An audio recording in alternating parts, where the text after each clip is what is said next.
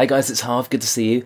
So recently I picked up the Rode Wireless Go system and I will do probably a full review or some sort of comparison or how to get the best sound out of video for these, but I thought for today I'll just give you my first impressions and uh, I hope you enjoy it. But before we do, a couple of days ago I put out a video that I really think you're going to find helpful.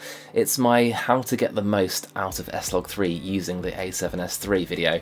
There's tons of tips and I, it's a really fun video, I really think you're going to enjoy it, I will link it below for you. And of course it would mean a lot to me if you could show some love for the channel by hitting the notification bell next to your subscribe button. Anyway, let's get into it. So I just want to preface this video by saying I love Rode, I think they're a great company, they make really good products for filmmakers, but the first impression I got from this product was when I got the box, and it's it's not good, basically. There is no way to get into this box without ripping open, and for someone like me who I buy and sell gear fairly frequently, this isn't good. This means I either have to ship it without a box or I have to do some sort of dodgy repair job. It's basically glued in. It's glued down, so you have to rip it open if you want to get in. Come on, Rode. Next, looking at the instructions, they're small, they're simple, and I would say personally they are needlessly simple. Honestly, it all it really tells you to do is to turn them both on, turn the receiver and the transmitter on, and they will sync. That's that's all it tells you. You can work out more by looking at the units yourself. What I wanted to know from the instructions was the best way to use it, the optimum gain setting, the best position to have it on you. Um, so with this lack of information in mind, I'm going to find out these things and make a video for you. So watch this space. And then I checked out the actual transmitter and receiver and I have to say they are absolutely first rate in terms of build quality. One thing I really love is the display on the receiver. It's just so amazing. Let me just see if I can get that closer for you. In terms of convenience, this really couldn't get much better.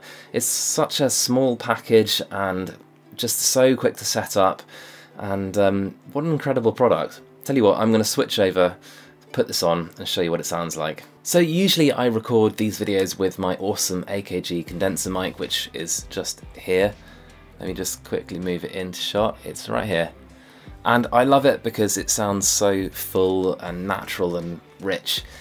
So let's switch over now to the Rode and this is what it sounds like. As you can see, I've got it positioned just here and this isn't ideal because, you know, it's a black clip on a white t-shirt. They actually do a white version if you're someone that wears more white than black. I'm also not convinced that this is the very best position for the mic. I mean, it's it uses an Omni mic, which picks up sound from all directions.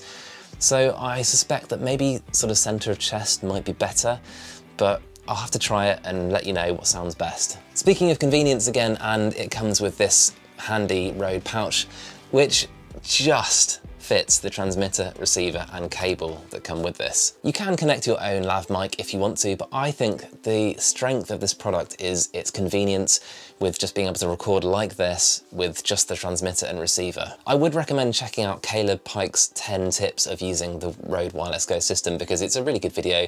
There's some genuinely good tips in there and I'll link his video as well below. My video on this will focus on this very simple setup and how to get the very best sound out of it. I'll look at different positions, different gain settings, and then how to post-process it to get it sounding the best it possibly can be. Anyway, I hope you enjoyed this first thoughts slash impressions of the Rode Wireless Go system. I've certainly enjoyed making it for you, and I'll catch you next time. See you guys.